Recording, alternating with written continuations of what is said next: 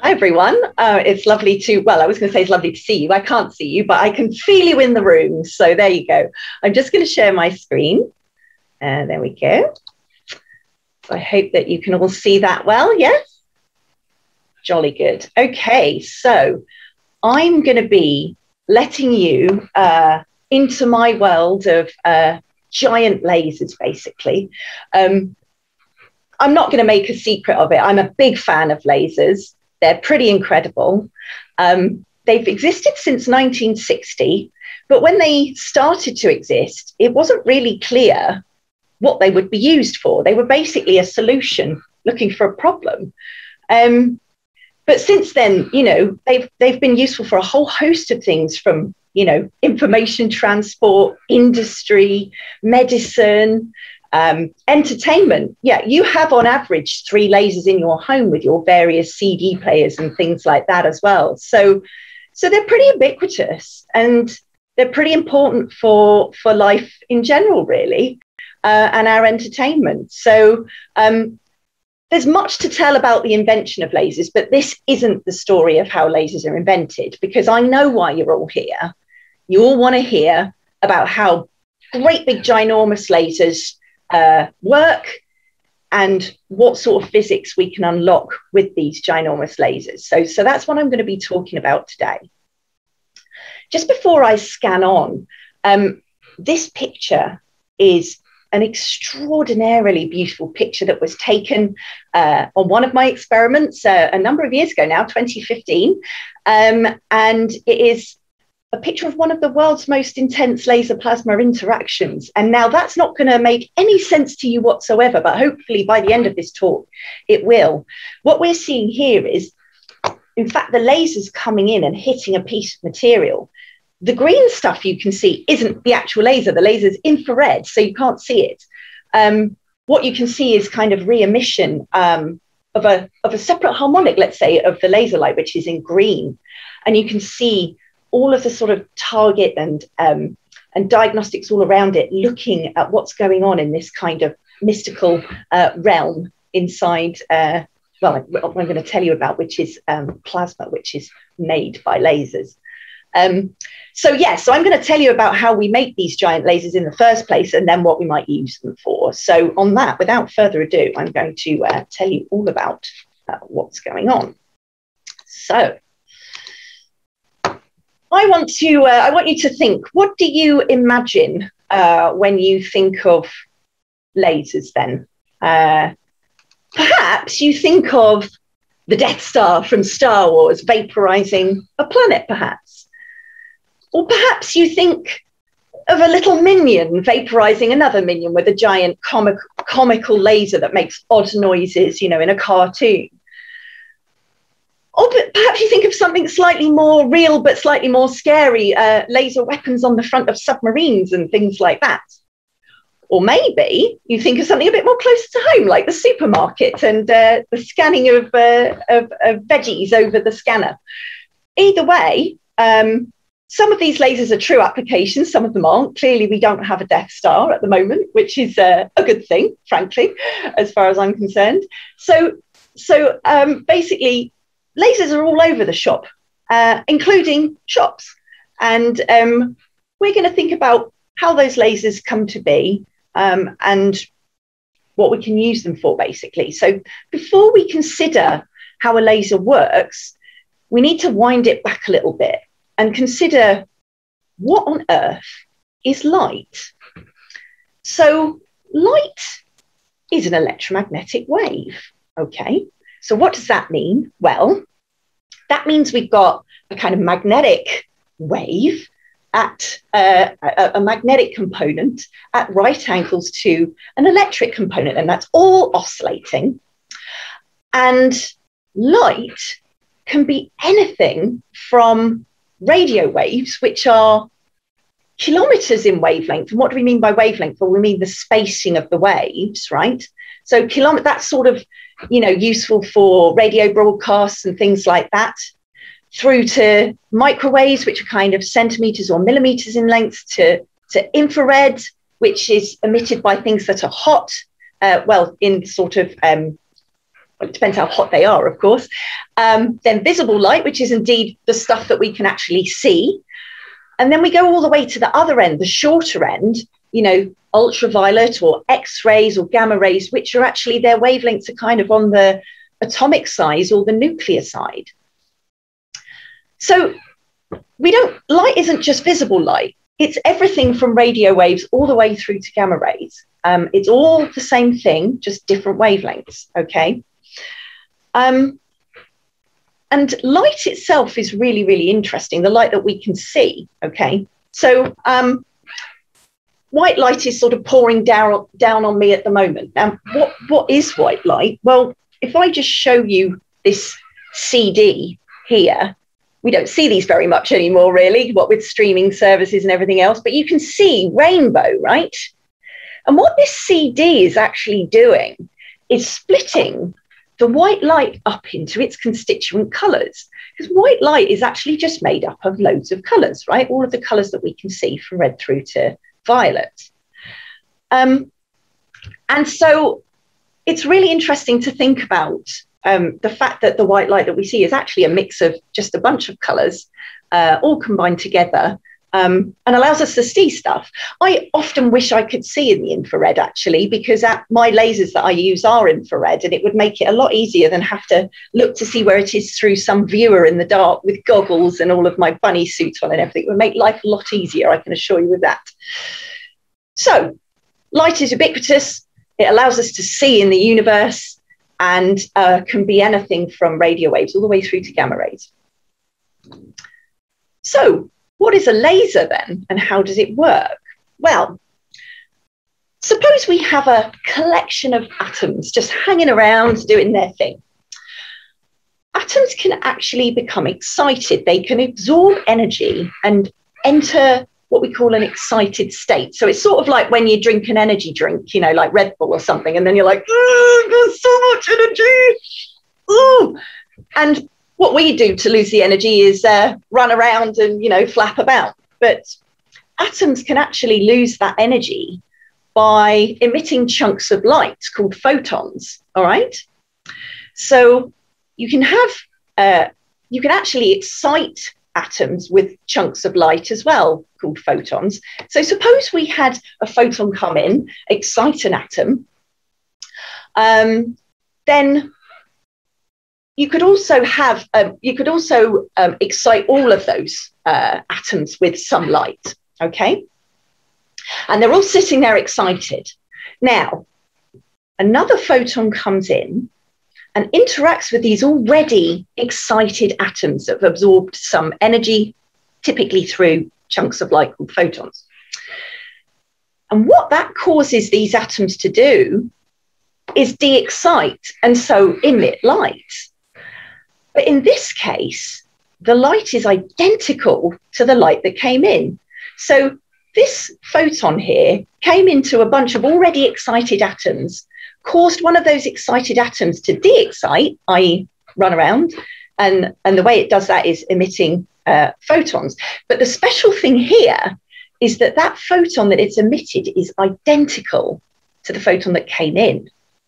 So it's like a photon photocopier. So you can imagine doing this over and over again. Now, this is just one pass, okay?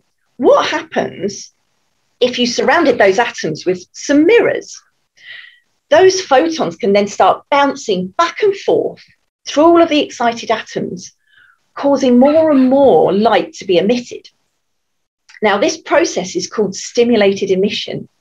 And that's actually part of the acronym of laser light amplification through stimulated emission radiation. So that's laser. So now you'll know that laser isn't spelt with a Z. I get very angry when people spell laser with a Z because it's not mm-hmm. stimulated emission, it's stimulated emission. And that's exactly this process that I've described here. Now, what I've just constructed in front of you is what we laser people call a laser cavity, where laser light is bouncing backwards and forwards between two mirrors. But you might be thinking to yourself, well, Kate, that's really stupid because how does the light get out? And that's a very, very, very good question. Um, one of these mirrors is partially reflective, so does let some of the light out. So that's the way a very basic laser works. Okay. Now, we need to consider why is laser light special compared to just the light that's raining down on me right now from the strip lights in this room? So let's consider that. Let's understand what makes lasers special. So the first thing is something that we call coherence, right?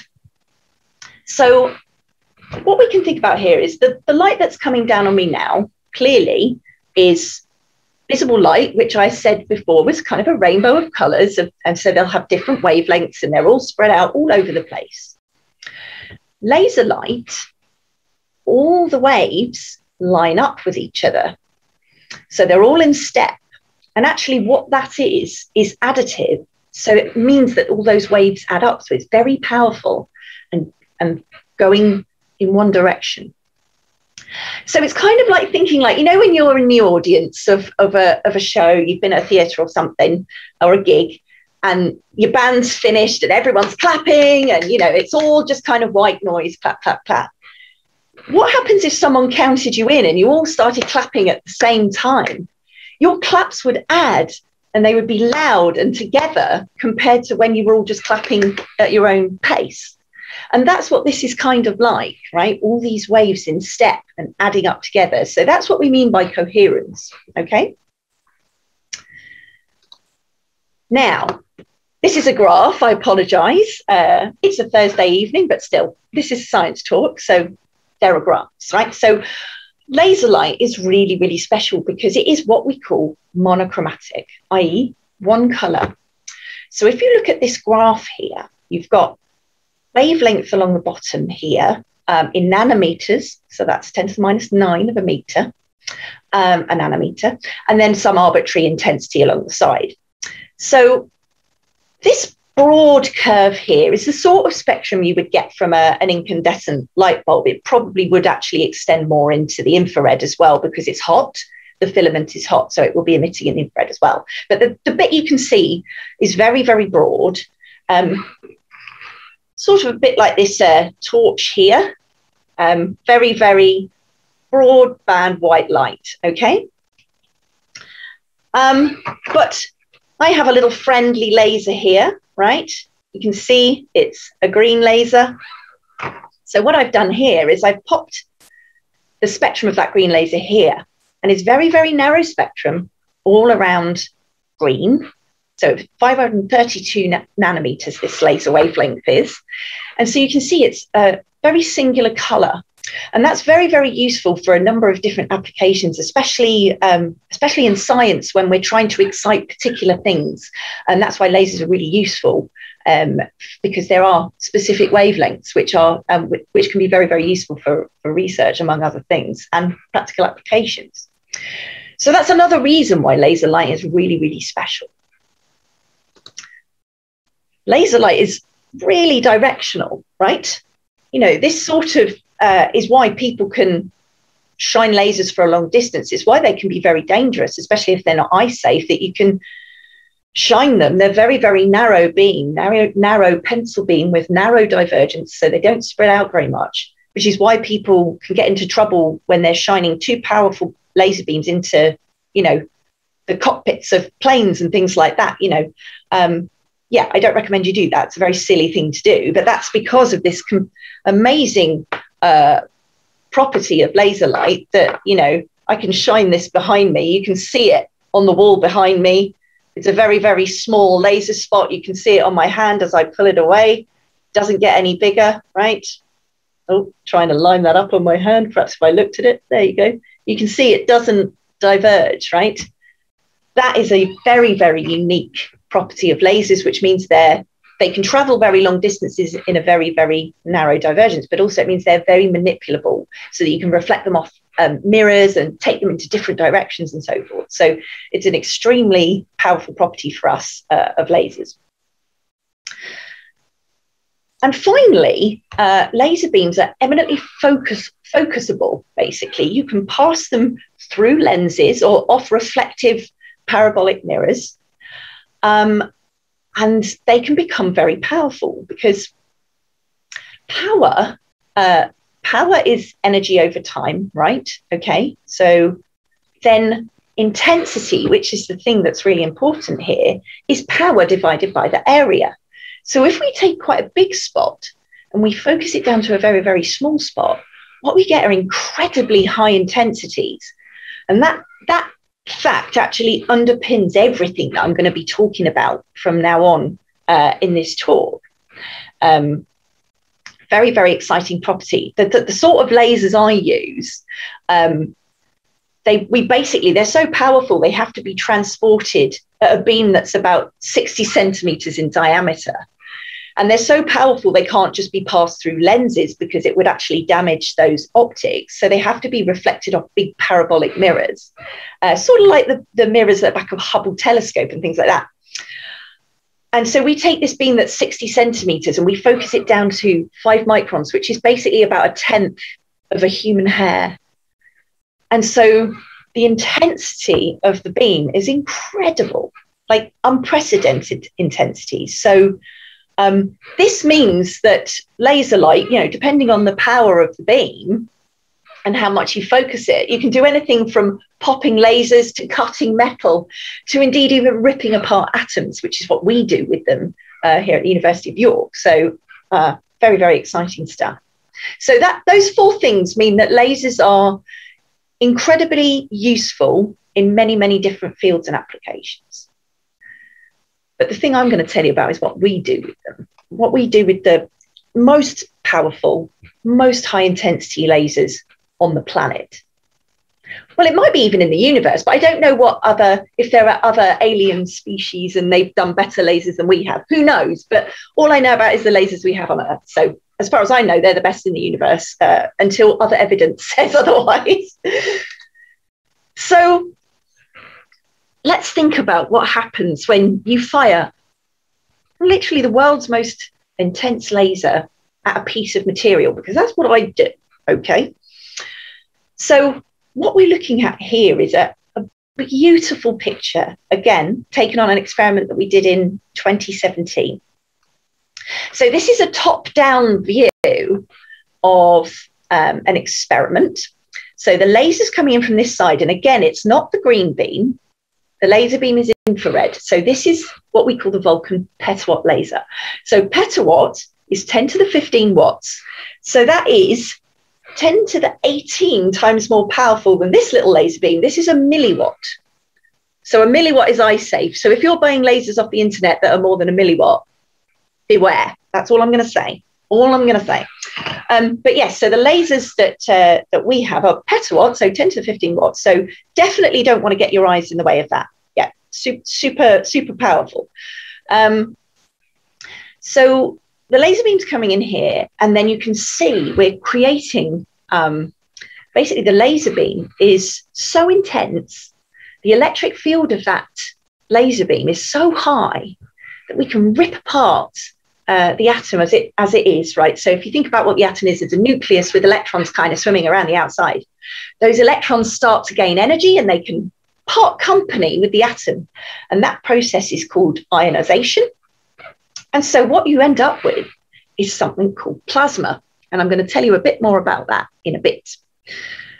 But what that also means is we've got lots of free electrons swimming around, all right? And those free electrons are basically driven in. It's a massive current. So we're talking a million amps, a million amps.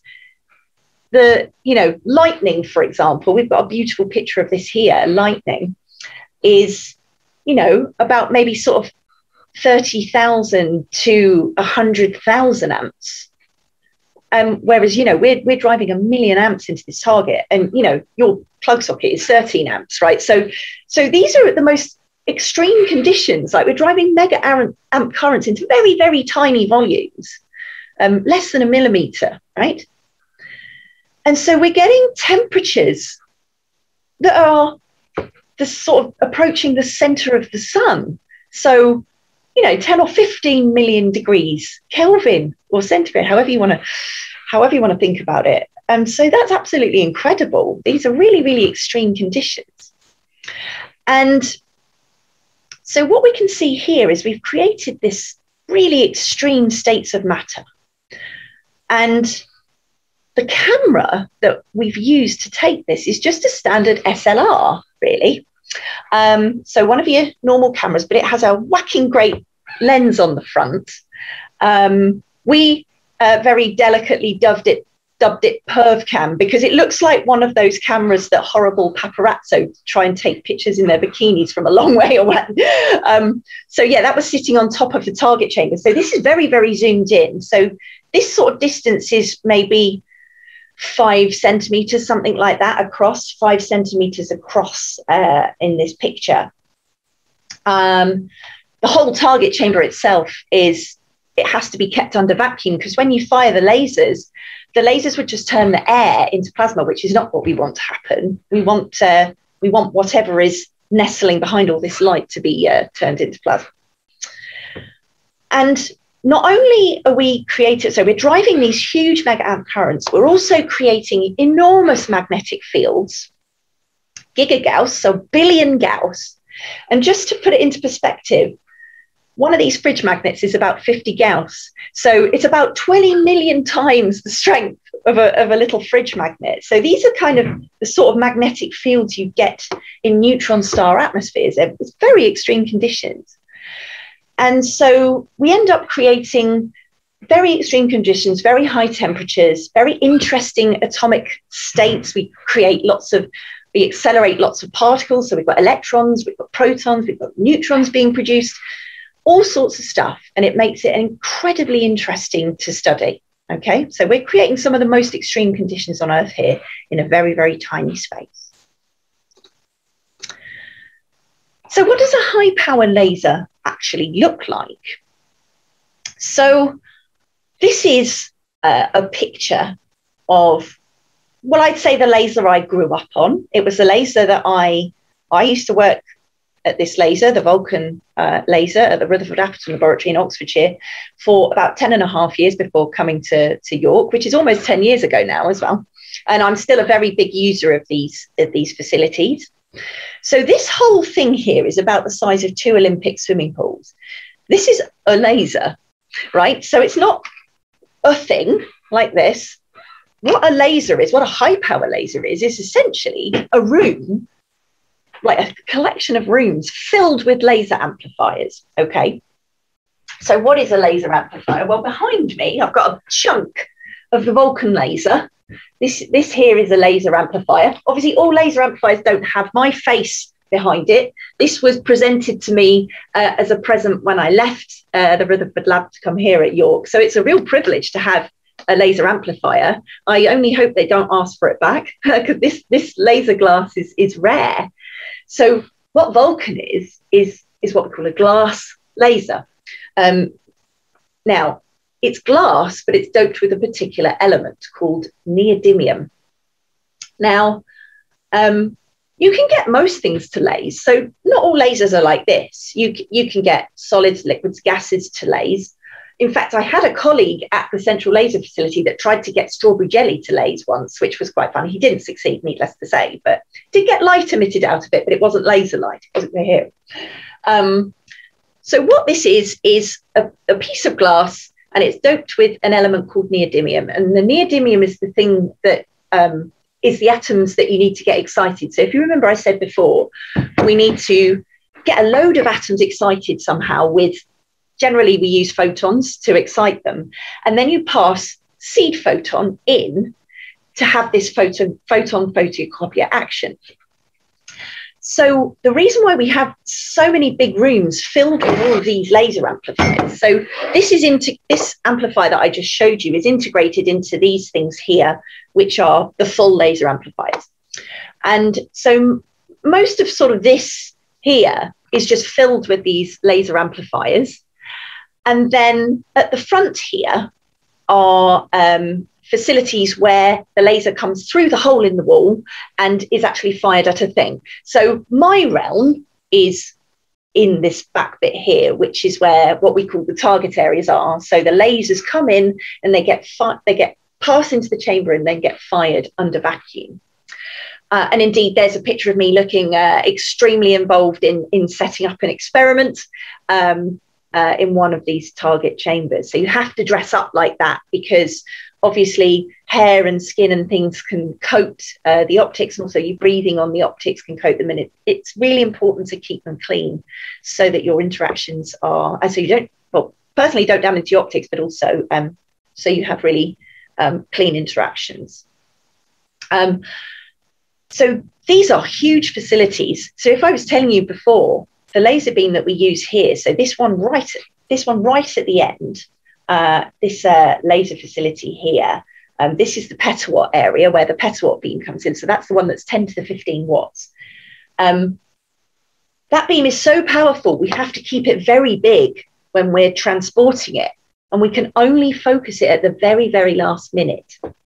And so we have to transport it with, with mirrors that are meter scale.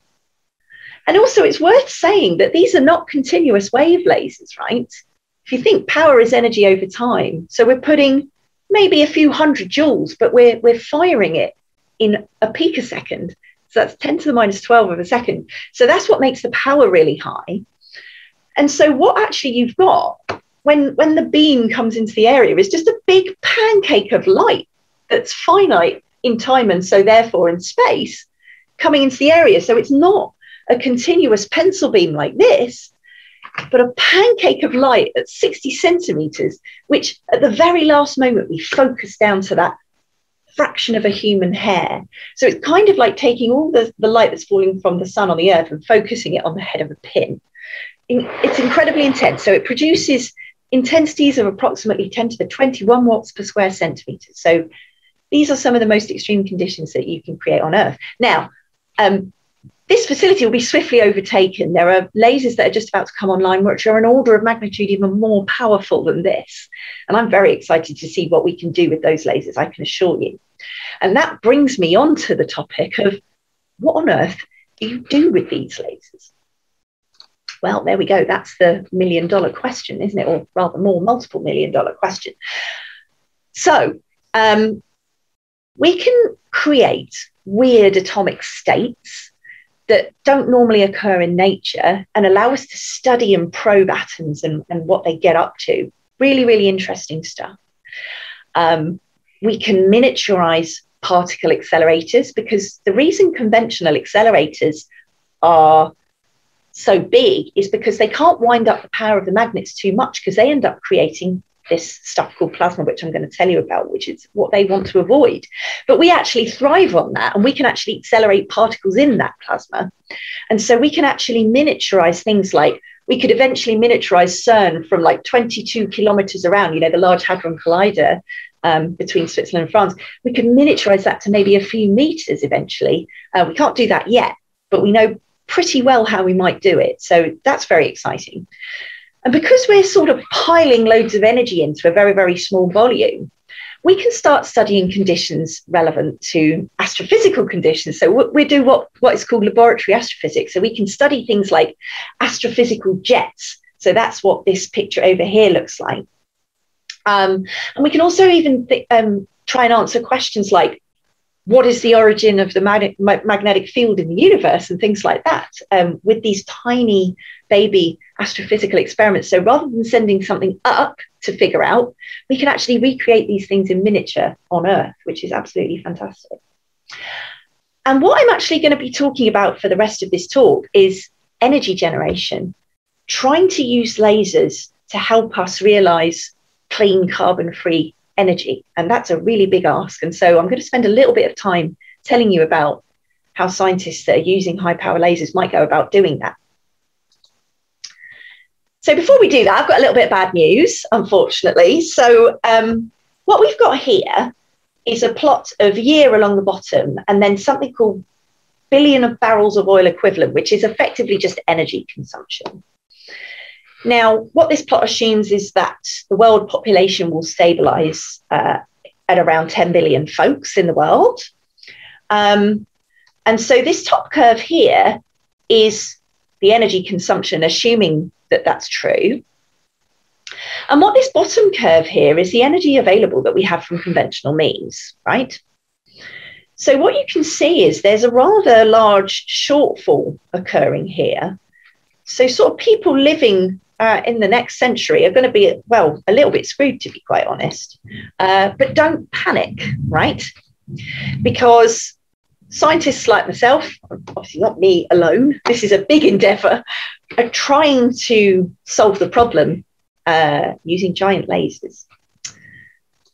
So, if we look out into our own dear universe, we can look at the sun, all right? I don't, I don't uh, advocate looking directly at the sun. That's a very silly thing to do. But um, the sun is a big nuclear reactor in the sky, essentially.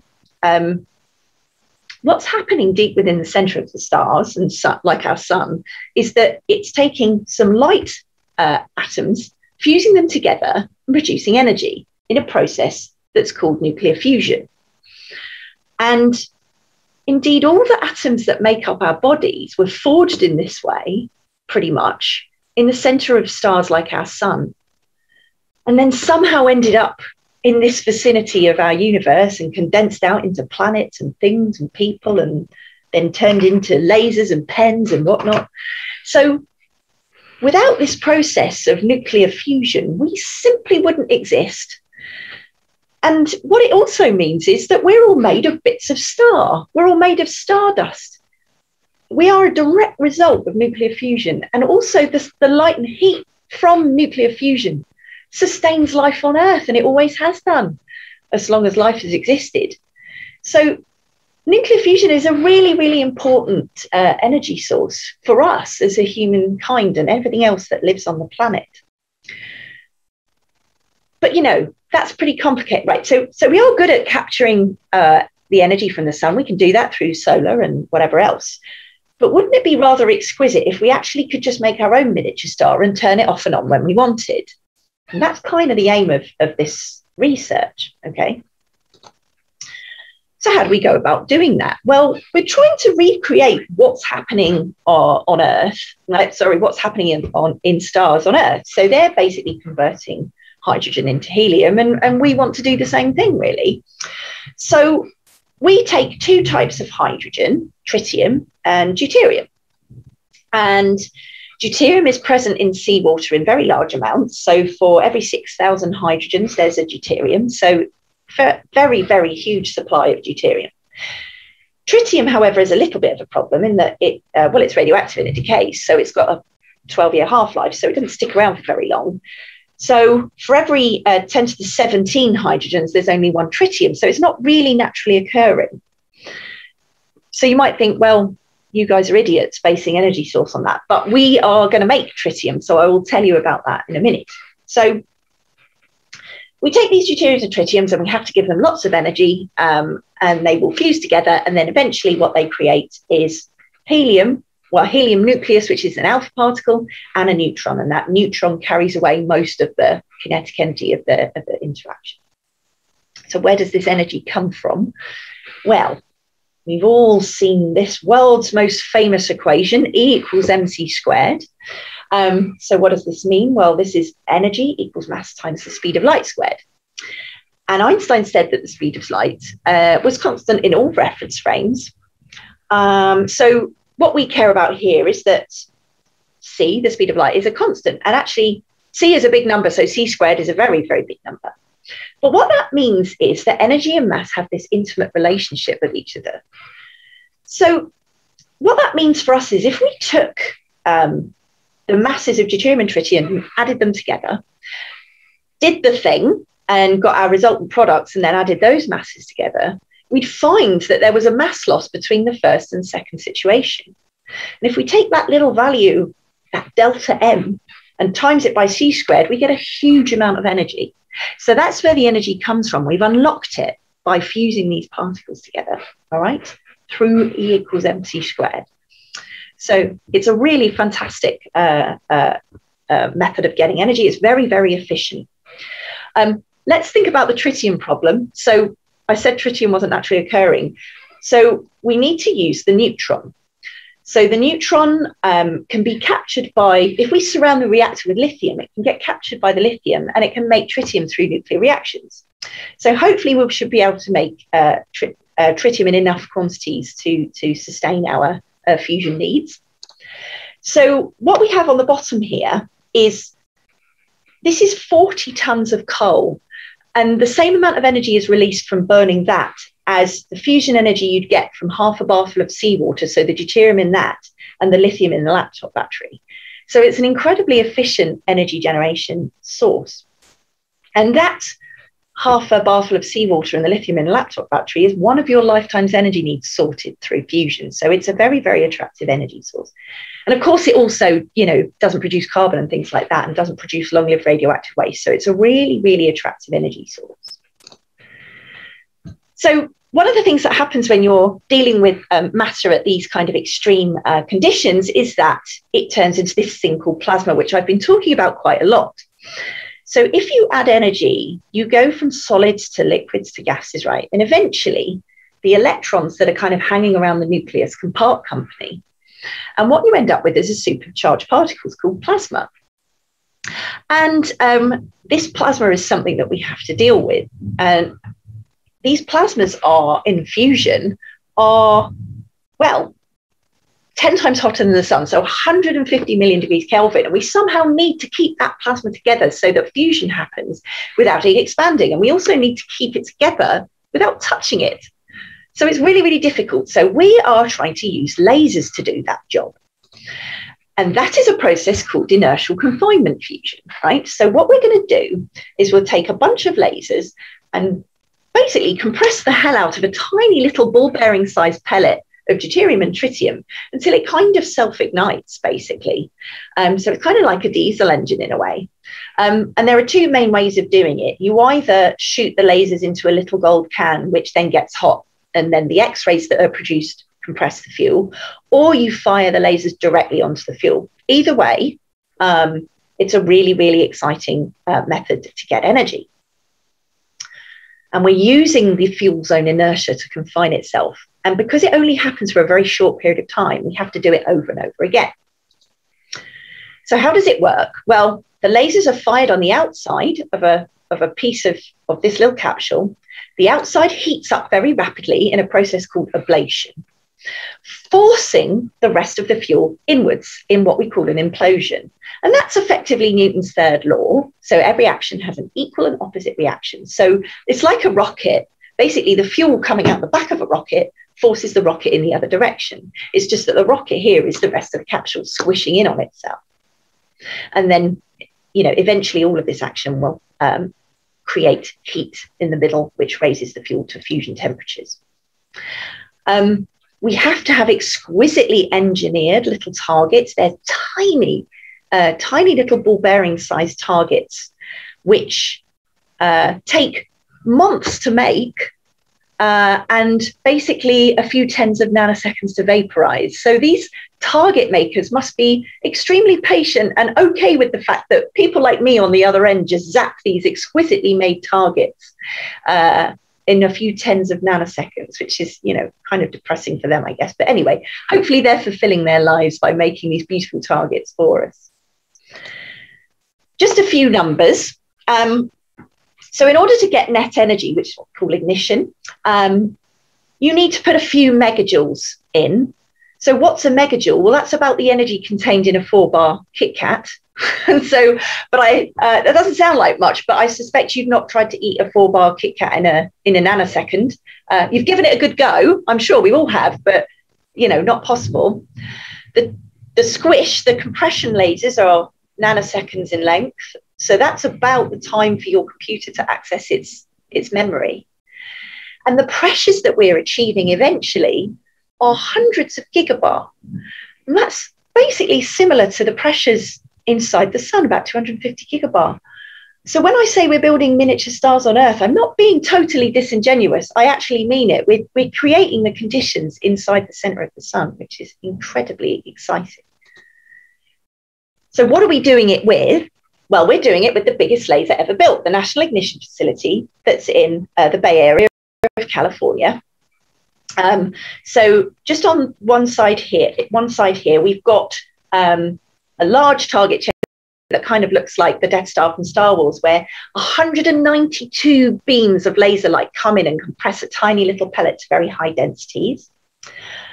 And this on the other side kind of looks like a factory, but it's just some of the 192 beams that are in uh, the National Ignition Facility. And this is just an aerial view of it. So it's a big facility. It's measured. I've measured it in uh, uh, units of American football pitches. It's because it's in America. It's in the Bay Area of California at the Lawrence Livermore National Laboratory. This is the most impressive and beautiful laser ever built. It's been operating for about a decade now, and it's getting some really, really exciting results out, um, which I'll tell you about. But when it's not operating as a, a, laser, it features in movies in, in Hollywood. It was in Star Trek Into the Darkness, and actually, some of the staff got to be extras in that movie. So that the target chamber itself ended up being uh, like the core control room here uh, in Star Trek Into the Darkness. So, so does pay off to work on these big facilities because eventually you end up uh, in Hollywood movies. But the latest result that's coming out of the NIF actually, I think, means that it's going to move from the stuff of Hollywood to maybe fusion being the stuff of reality. Because where we are now, this is the last thing that I'm going to talk to you about, is that it's taken 10 long, really difficult years at the National Ignition Facility, where at the beginning, they weren't getting the results they thought. They really didn't understand what, what, what was happening. 10 long years of careful, incremental, and textbook beautiful science to a result that they got this year, which is they, they got 1.3 megajoules of energy out of these tiny little compressions. That's 0. Point, so that's 70% of the laser energy that they put in. So this is really impressive. We're getting really, really close to what we would call, um, well, laser break even, really. Um, now, of course, lasers are incredibly inefficient. The lasers we got, so the NIF is a glass laser, like I was talking about, like Vulcan. Um, so they're about 1% or less efficient. So we're not talking wall plug break even here, but they're almost getting towards getting as much energy out as you put in uh, from laser light. Um, so these are very, very exciting times. I, needless to say, I was bouncing up and down on my spring earlier this year. And in fact, just earlier, just before I started talking to you, we, we heard a talk from one of the key scientists at Livermore called Omar Hurricane, who has the, the coolest name in the world, um, telling us all about how they managed to get this result. And I just think it's so incredible. And so I want to end on that note saying that although it's a really hard journey and we've been working on it for a long time, we're starting to see the light at the end of the tunnel. So, on that note, thank you so much for listening. Fantastic, Kate. Really, really exciting stuff. Um, yeah, I, I, definitely have tried to eat a Kit Kat that quickly, but um, I'm nowhere. I'm nowhere near as fast as a laser. I don't think. um, we've got a, We've got about six minutes for some questions, so we've got some fantastic questions which have come through. Um, so, first, a couple of general questions about lasers. Mm-hmm. Um, Irene has asked if coherent light doesn't diverge, um, would that mean that then a light, if a laser shine into the sky, it would just keep on traveling all the way through space? Well, yeah. So, so there are things that actually act to to kind of uh, degrade that um, that sort of narrow non-divergence. So, stuff in the sky, molecules, that stuff that gets in the way in the upper atmosphere. Um, so that acts to scatter light um, in much in the same way that light from the sun is scattered depending on the angle it's coming through. So sky looks blue at some point, you know, and then red at others, right? Um, Rayleigh scattering, right? So laser light would be scattered in our atmosphere. I reckon if you shone a laser from somewhere in space, it would definitely get further because we've got the interstellar medium, but it's much more tenuous than the upper atmosphere that we have on Earth. Mm-hmm. But in theory, it, it, should get quite far. Um, uh, you know, if you shone a laser from Earth to the moon, for example, it would be maybe I don't know. I think it's tens or hundreds of meters by the time it gets there, but that's a pretty narrow narrow divergence. Mm. Uh, but yeah. Okay. So. And so that kind of relates to a question that Wilfie and Arthur have asked: is that would light go on forever if there was nothing in the way of it? Then. That's an interesting question, right? So um, it sort of does, right? If you think about it, um, we're still seeing the glow of the Big Bang, right? It, it, it, shifts in wavelength as it kind of mm. loses energy, right? But so the Big Bang produced a huge like flash of light. what we see now is what we call cosmic microwave background. So it got to the point where it shifted to, to microwaves. So, so that was some 12 billion years ago, right? So um, it's still going. Eventually, it would probably run out of energy due to just kind of interactions with stuff in, in space. Obviously, if it was a perfect vacuum, you know, interesting, right? But uh, yeah, it's a, it's, a, it's a fascinating thing for sure. Yeah, brilliant. Um, so Christy Jonas has asked, um, do the atoms in a laser get larger when they're excited? Oh, that's a really good question. No, they don't tend to. Um, so if you think about what what it actually means for an atom to be excited is if we zoom into the atom, we've got the nucleus and we've got electrons kind of hanging around. Now, actually, it turns out those electrons quite like to hang around in little orbits. And when when an atom is excited, actually what it means is some of the electrons have got absorbed some energy and managed to jump up into another orbit. And it's actually the electron. So it's not the atom itself, that's sort of macro thing. It's actually the electron that gets excited. And then when it de-excites, it has to emit light in order to do that. So so the, the, the atom in and of itself doesn't really change size so much as the, the electrons are kind of doing their thing inside the atom when when the atom becomes excited. Yeah, yeah. Okay. Um, so then a couple of questions about things in your talk. Jason has asked, what is it that's causing the energy drop off in that that graph you showed where it's the energy that we'll need versus the is it's just because we're running out of fossil fuels yeah right? yeah so it's it's kind of the the yeah the the sort of running out and the hard to get to nature of fossil fuels mm-hmm. now i don't exactly know whether they have because this I think that plot was made a wee while ago, so I mm-hmm. don't think they've particularly made assumptions about storage of renewables and things like that. So obviously that's a really important thing. Obviously this is largely based on kind of, you know, best efforts, you know, in terms of capturing solar and everything else, plus nuclear, plus fossil fuels and how we can get to them. Obviously, yeah. um, you've got things like fracking and stuff, which makes it sort of easier to get to some of the some of the sort of more deeply buried stuff in the ground. But uh, I would say that I would recommend we don't do that, given where yeah. we are with uh, with trying to go to a carbon-free energy source. So yeah. that's why fusion is very attractive. Now, I don't just to, as a caveat. I don't think it should be the only energy energy generation mechanism. We need to diversify that. We need to have a, a, patchwork of different energy generation mechanisms such that we're not dependent on one thing because it's very dangerous, as you know. yeah, brilliant. So we've got a, to finish up, we've got a couple of more speculative questions. Yeah. Um, so someone has asked, could a laser cause an asteroid to change course if it was big enough? That's interesting. So, I so the only way I could imagine you Oh, yeah, that's. Hmm. Probably not, I think, in short, because I mean, high intensity lasers, right? They, they get high intensity by focusing them really mm-hmm. a lot, right? But then you focus them to a very, very small point. So, what you probably end up doing is ablating a little bit of the asteroid. But would, it, would that affect the course enough? I, I absolutely don't know. Uh, that is the honest answer. It's yeah. not something that I think about on a daily basis. No. Now, they're trying to bump spacecraft into asteroids aren't they? Because that's that yeah, arrow yeah, thing that got launched recently. So you probably don't need to go to the extent of uh, making a high power laser when you can just clunk a clunk, a, a, a, a, spacecraft into yeah, a slightly more um, Flintstones approach to, um, to, dealing with the solution.